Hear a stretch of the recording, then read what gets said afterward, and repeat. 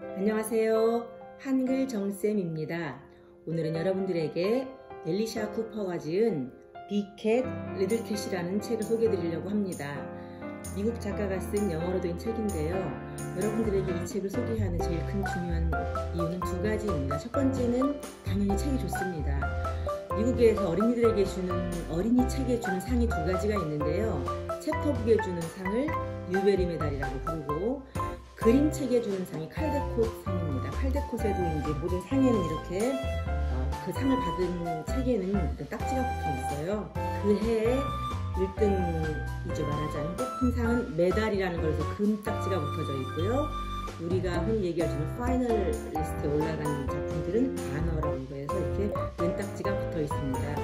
이 엘리샤 쿠퍼의 책은 어, 이 책으로 그림책에 주는 칼데코 상을 수여했습니다. 그래서 일단 책이 너무 좋고 내용이 너무 아름다워서 사실 저는 이 책을 읽으면서 울었어요. 너무 감동적이어서 그 다음에 두 번째 중요한 이유는 어, 흑백으로 그려진 굉장히 단순한 책이고 대사도 많이 없어요. 잠깐 잠깐 설명한 책인데 그렇기 때문에 우리 아이들 5세, 6세 아이들에게 한글로 이 책을 읽어줄 경우에 우리가 일상생활에서 쓰는 많은 단어들을 한글로 이야기해 줄 수가 있습니다.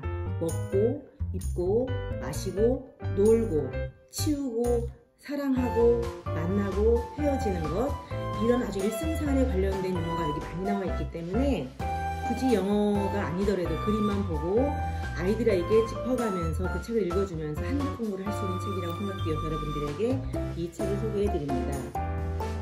엘리샤 쿠퍼의 비캣 리들캣입니다. 일단 보시면 아이들에게 어, 설명할 수 있는 게큰 고양이, 검은 고양이, 큰 고양이, 작은 고양이가 되겠죠. 그래서 아이들에게 자연스럽게 어, 이 책에 나오는 반대말, 반대말 개념을 알려주실 수가 있고요. 책은 굉장히 단순한 그림으로 그려져 있습니다. 이렇게 흑백으로 되어져 있고 어, 설명 부분이 간단하게 쓰여져 있어요. 그런데 그 설명이 어려운 영어나 어떤 그런 것들이 아니고 되게 동작과 행동을 설명하는 것들입니다.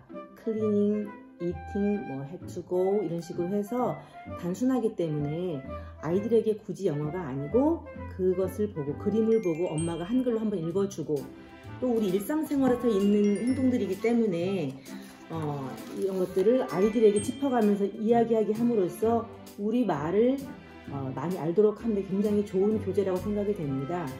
한글로 된 재미있는 책들도 굉장히 많지만 우리가 아이들 나이 또래에 맞는 적당한 책을 구할 수 없을 때 이렇게 잘 되어져 있는 책을 본다면 아이들이 정서적으로도 좋은 내용이지만 한글 공부도 같이 할 수 있는 좋은 내용이라고 생각이 됩니다. 내용은 흰 고양이와 검은 고양이가 서로 만나서 서로 성장해가고 헤어지는 그런 내용이에요. 헤어졌다가 또 다른 인연을 만나는 거기 때문에 이 책에는 만약에 집에서 아이들이 고양이나 개를 키우고 계신다면 굉장히 감동적으로 느낄 수 있는 부분입니다. 내가 키우는 반려묘와 헤어져본 경험이 있는 아이들이라면 굉장히 어느 부분에서 눈물을 흘릴 거예요. 또 새로운 인연을 만날 때 어떤 건지. 어린 책에서 굉장히 중요한 소재 중에 하나가 동물입니다.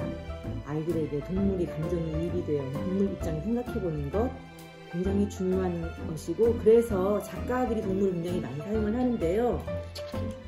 이 책에서는 굉장히 그런 부분을 잘 하고 있습니다.